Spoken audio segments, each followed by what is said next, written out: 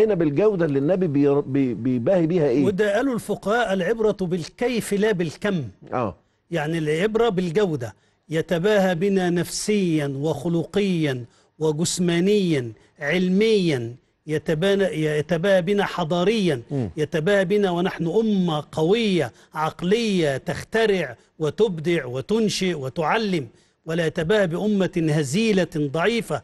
الإنسان لا يتباهى بالضعيف ولا بالكسالى ولا بالمرضى. فلذلك قال الفقهاء العبرة هنا بالكيف مصطلح منطقي لا بالكم. يعني العبرة بالهيئة لا بالعدد. قد يكون واحد يساوي. ثم قال بعض العلماء فإن العدد هنا المقصود في الحديث أي عدد؟ يعني أنت لما قال تناكحوا تناكسلوا فإني مباهي بكم الأمم. بعدد أي عدد. فاللغويون يقولون الاثنان جمع.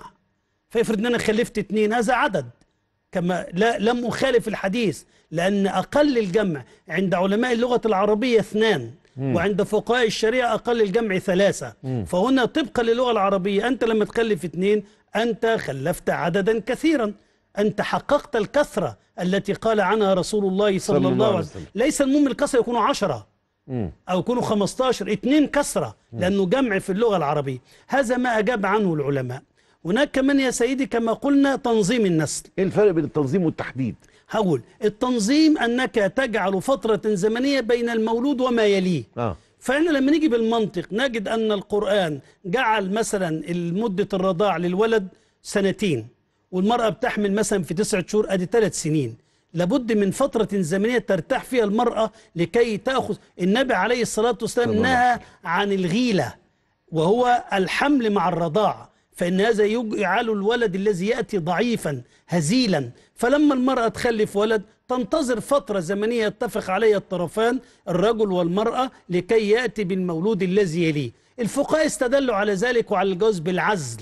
فإن العزل ورد في الشريعة الإسلامية إذا كان هناك داع. ومعنى العزل أن الرجل يلقي بمائه بعيدا عن المرأة. هذه الوسيلة التي كانت معروفة عند العرب آنذاك.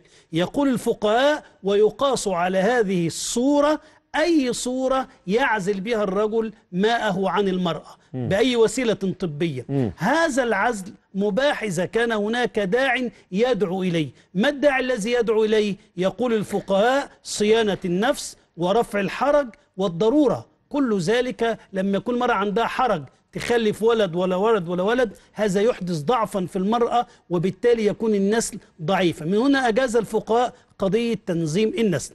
تحديد النسل إن يبقى في اتفاق بين قطبي الأسرة الرجل والمرأة على هنجيب اثنين هنجيب ثلاثة هنجيب واحد فقط. هل هذا يجوز؟ يقول الفقهاء يجوز تحديد النسل.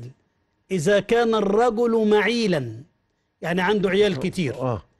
أو كان فقيرا لا يستطيع أن يصرف على التعليم ولا التربية ولا الصحة أو كانت المرأة ضعيفة أو كانت المرأة موصولة الحمل هي بتحمل على طول كده طبيعتها هكذا. أدي أربع صور. وذهب الإمام أبو حامد الغزالي إلى صورة عجيبة جدا. قال يجوز التحديد إذا خافت المرأة على جمالها. الله أكبر. نعم. أظن بقى حضرتك بعد اللي إحنا سمعناه وإن وصل أبو حامد الغزالي إلى آه، حكم عجيب جدا ذكره سيدنا آه، على مسؤوليته الشخصية. نعم ذكره صاحب كتاب فقه السنة. آه نعم. ده في أنه يجوز للمرأة أن تقوم بمنع بالتحديد؟ أو بتحديد النسل للمحافظة على جمالها. حرصا على جمالها. نعم. كأن جمالها هو الفرد وأصبح النفل هو إنها تخلف. وأقول لك رأي كمان قاله الفقهاء. آه. إحنا قلنا يجوز إذا كان رجل معيلا أو ضعيفا أو كذا. هناك رأي يقول يجوز مطلقا. بغير شروط ولا بغير ضوابط. ضعف ولا ولا إلى آخره يا رب بقى ما يجيش واحد بعد كده يقول لك أنتوا كده بتحاربوا العقيدة أو بتحاربوا شرع الله إحنا ورانا واجبات كثيرة لازم نفهمها مهما كان ثمنها انقاذا لقضية هذا الوطن نكون أو لا نكون نشكر باسمكم سيدنا العلامة الأستاذ الدكتور. محمد سالم أبو عاصي